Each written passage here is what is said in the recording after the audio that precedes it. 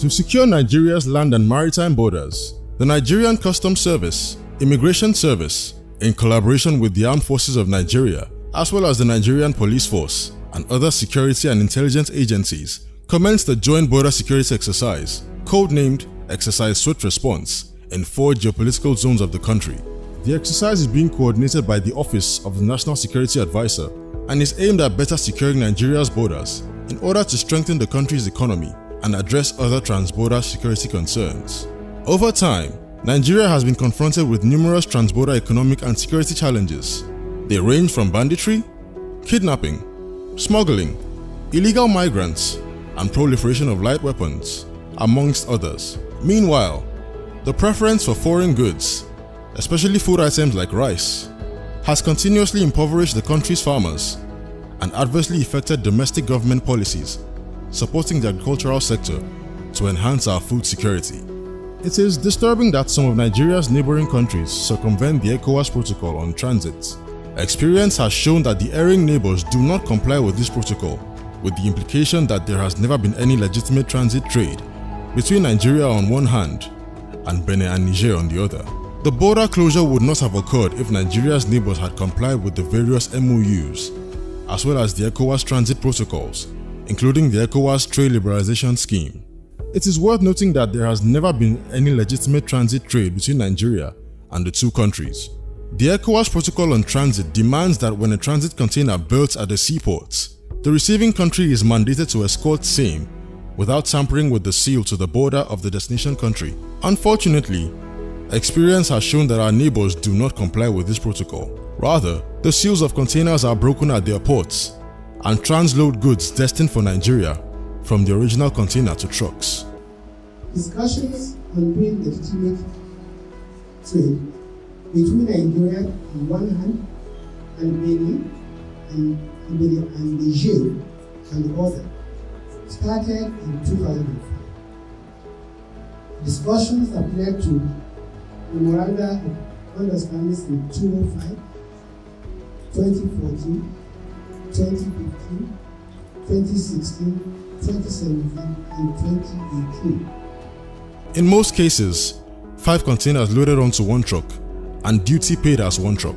This improper transloading of transit goods makes it impossible to properly examine such goods, resulting in importation of illicit goods.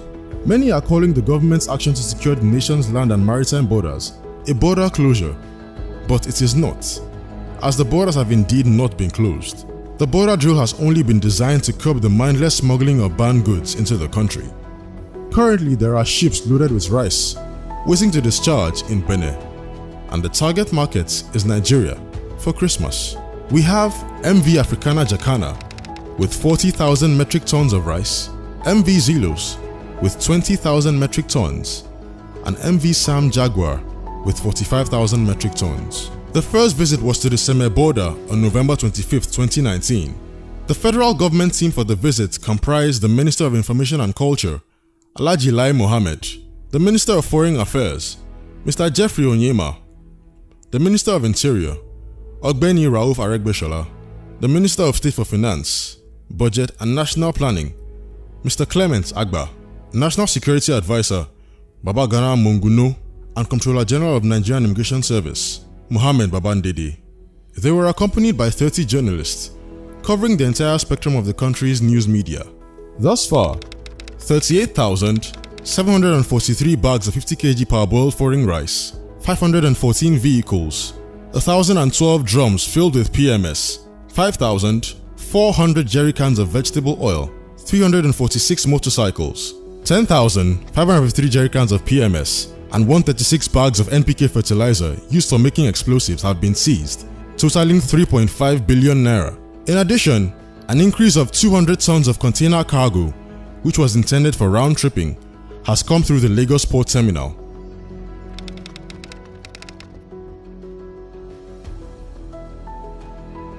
The federal government delegation visited Customs Border Station in Magama Jibia in Katsina on a visit to Sector 4 of the ongoing border drill, codenamed Exercise Swift Response. The drill has drastically curtailed the inflow of arms and ammunition.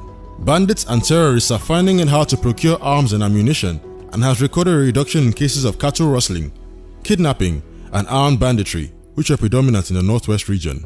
Arms and ammunition being used by violent extremists and criminal elements no longer make their way into the country through the land borders. There are hundreds of filling stations along the border. We counted many as we drove to the border this morning. They were set up purposely for smuggling. They don't sell the fuel consignment they receive to the public. Plus, 50% of them are owned by foreigners. Now that they are closed, we have recorded over 30% reduction in domestic fuel consumption. The smuggling of petroleum products, which has also been prominent through the borders in the northwest, has been curtailed due to the closure of filling stations along the border. The northwest sector out of the four sectors affected by the drill, has recorded the highest success in terms of reduction of illegal migration. We said that on that occasion that the exercise wouldn't have been contemplated if our neighbors had complied with the various MOUs as well as the ECOWAS trade protocols, including ECOWAS trade liberalization scheme. We trace discussions on doing legitimate trade between Nigeria and our neighbors to 2005 and noted that the discussions led to MOUs in 2005, 2014, 2015, 2017, and 2018, none of which, unfortunately, led to any legitimate transit trade between Nigeria and on one hand and Benin and Niger on the other hand. As a result of the closure of the borders, the border drill exercise is not targeted at any region in the country. Neither is it designed to cripple businesses in any parts of the country, as being insinuated in some quarters. Since the commencement of the exercise, local businesses across the country have continued to thrive, as farmers and rice millers in particular are now having a high turnover in their investments.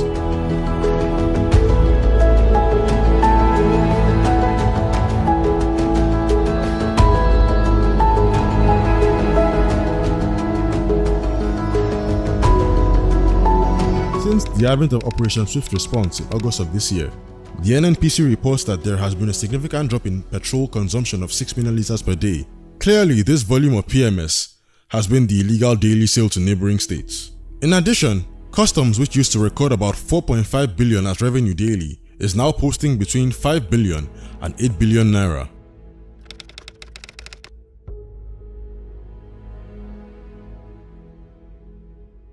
The ongoing border drill that has largely curbed foreign rice smuggling into Nigeria has boosted rice production while fast-tracking the country's quest to achieve rice self-sufficiency. Quoting statistics from the Rice Millers Association, he said, over 200,000 bags of rice were occupying spaces in the warehouses of virtually every integrated rice mill before the border drill started in August, while many small-scale rice holders or rice clusters had to abandon their small-scale but valuable means of livelihood. Chairman Hamsan Rice Mill. Uh, you are welcome to my factory at Hamsan Rice Mill. As you see there, we start uh, visiting the factory. This is the, our one of our first store for our paddy. We have capacity of about 200 uh, trailers here for the paddy, and we have five of this type. Uh, normally, we we buy from the farmers and we keep it for, for our production. And we thank for the federal government that they are, they are encouraging us and the CBN. Uh, we collect some intervention from CBN. That's why we stock all this uh, stock here. And uh, we are milling, uh, our milling capacity is about 180 tons a day. I'm sure you understand what paddy rice is. This is the Paddy paddy is the rice that comes straight from the farm. from the farmers. And sometimes you will see at least uh, 50 to 60 cars, uh, trucks outside parking, and you see our scale there. We scale it and we, we upload it, then we pay their money. Every day we get at least 20 to 25 trucks here. And uh, but um, during the harvest, yeah, yeah, yeah. yeah. The story is really that before now, they are 60% capacity. Today, with border less than three months, they have 90% capacity. And then they tell us that even right now, We are expanding. they're expanding You see it. and that they need even to take more land, take more uh, plants. They have ordered even more equipment. That is the story.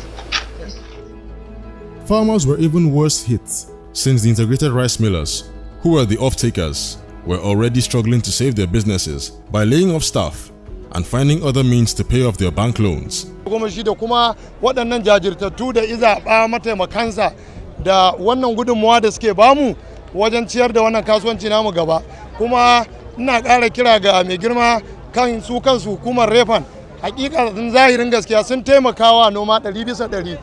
Sakamakon wannan program na refan da kuma shugaban umza shi ma yana taimakawa wannan al'amari da ya shafi sarrafa shinkafa. Su daman manya-manyan mu ne su ne jagororinmu kuma su ne na sama da mu. Alhamdulillah suna yin bakin kokarinsu mu ma ko muna yin iyaka bakin kokarinmu idan mun ce akalla a kusan yaushe muna fitar da abin da bai huce misali tan dubu biyar a rana iyaka kura lokal gama ba sai ce na faɗi kaɗan.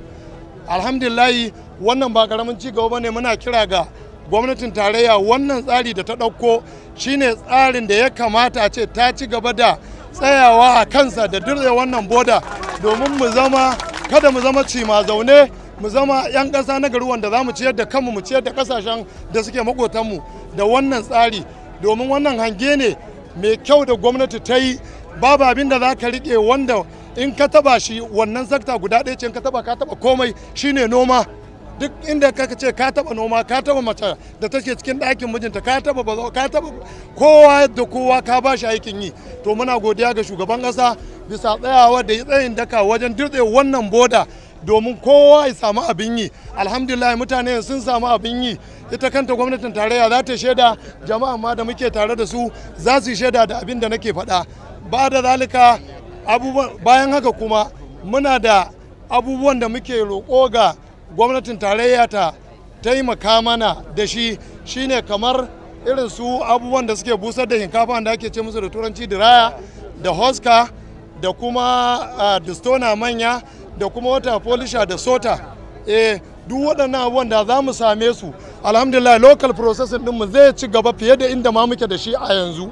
Muna roƙo ga waɗannan masu ministocinmu da suke zaune don su taimaka mana. Sun ji korafinmu da ministan yaɗa labarai da ministan noma da shauran manyan baki da muke tare da su. Sun ji korafinmu da kuma masu ba da shawara da allah taimaka mana a samar mana da wadatattun waɗannan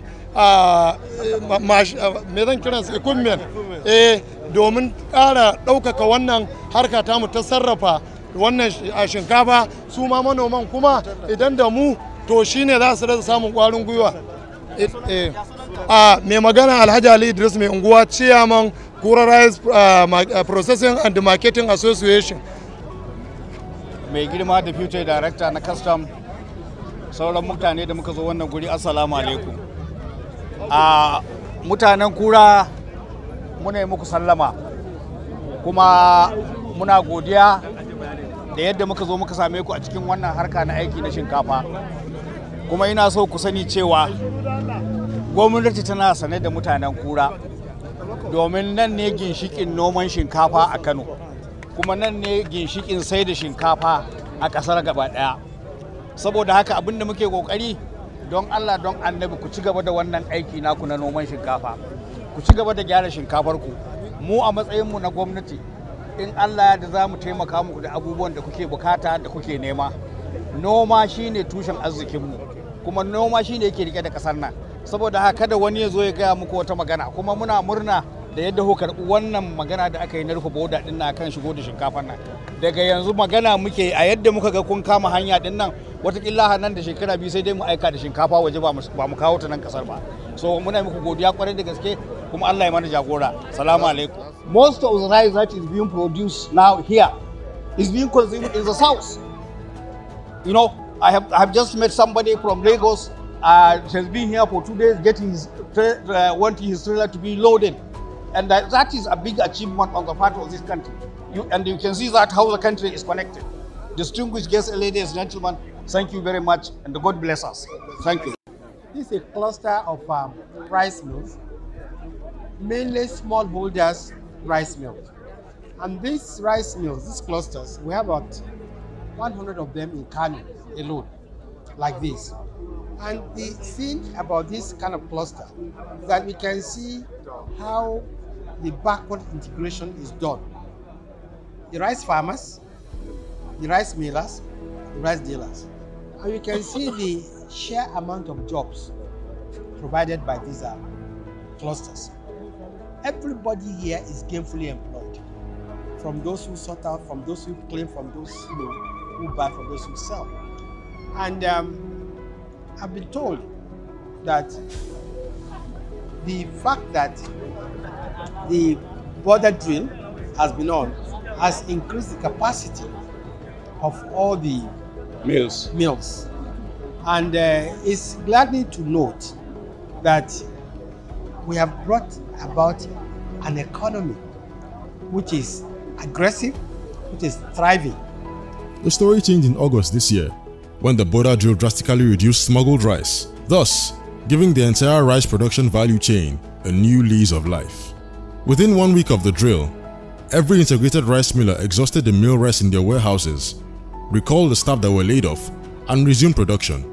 Integrated mills produce about 150,000 bags of rice every day, translating to over 35 million bags annually. Adding that the 34 mills are expanding rapidly in order to increase capacity and meet the rising demands, while the small-scale rice clusters in all parts of the country are now back on stream and feeding the local communities. This is our first mill that was installed 10 years back.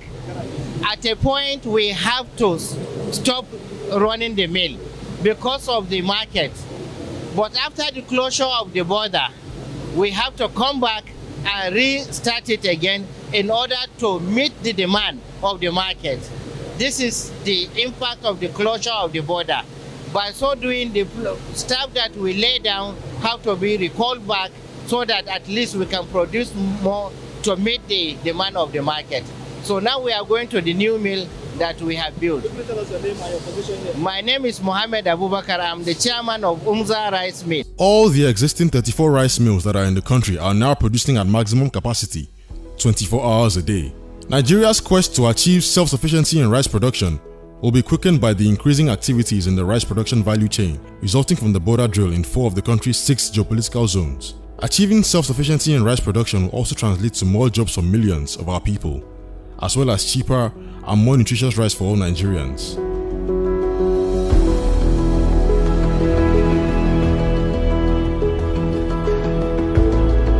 that of which you will, will have access to the raw materials in the northeast. So we decided to hold on to this Until you finish and that. then con- uh, until we finish that one. Yes, sir. So, so sometimes in April, May this year, instead of the normal two shifts we run, we had to shut down to one, only one shift because there was no market. That was before the border closure. but after immediately after the border closure, within two weeks, we had exhausted all we had in store. That is talking about the, the, the finished goods. And then the raw materials too. We had to start sourcing for raw materials to the extent that we, at a point, we even thought of buying the locally processed and bring it down to mill. Fortunately for us, the dry season rice came in, so we, we bought the rice and then we continue milling till this moment. We we had we had a daily capacity. Uh, we had a staff strength of about 177 before the border closure. But after the border closure, our staff uh, strength grew to about 240 uh, 240 workers that are on our salary scale being paid on monthly basis. We also have uh, casual workers that work with us on daily basis who are being paid on wages. We, we, we pay them on daily basis and their capacity rose from 200 to 40 uh, and 40 to about 320 staff that we are being paid daily depending on the the activity that is taking place. So you can see how it has the border closure has really impacted around the, around the value chain. We want to commend government on this effort being made. Tell, yeah. Tell us about your installed capacity right now. 320 metric tons per day. Metric tons. Yes, and we had an extension of six- 600 metric tons here and also in Bauchi. So next year, this time, God's willing, we have about uh, uh, 520 metric tons per day put together with the one in Bauchi and that of the one here. What's your name? My name is Aliu Ali Ibrahim. Huh? Ali, Ali, Ali Ibrahim. I'm the DMD of this company.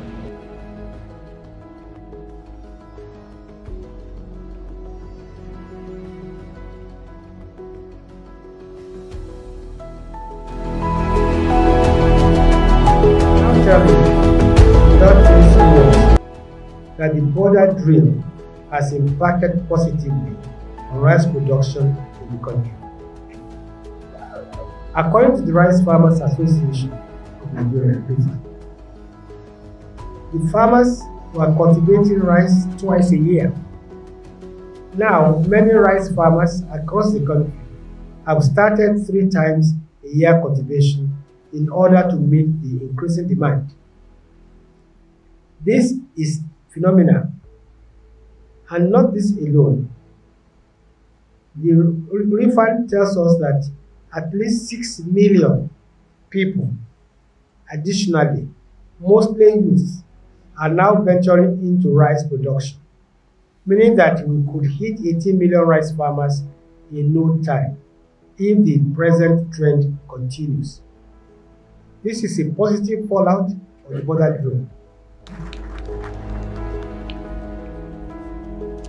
Operation Swift Response has had a significant impact on both national economy as well as job creation in the three months of its existence. 6 million new jobs are being created in the rice sector, which, as we have seen, has experienced a significant increase in demand. The poultry sector has also grown phenomenally with tens of thousands of new jobs created and in the process of being created. There is also large-scale investments in increasing production capacity in this sector. In addition to increases in customs revenue at our ports to 5 billion and 8 billion naira daily, up from 4.5 billion naira before, the petroleum industry has experienced a significant consumption decrease of 6 million litres of PMS daily. Importantly, incidents of insurgency have also decreased significantly due to the border drill.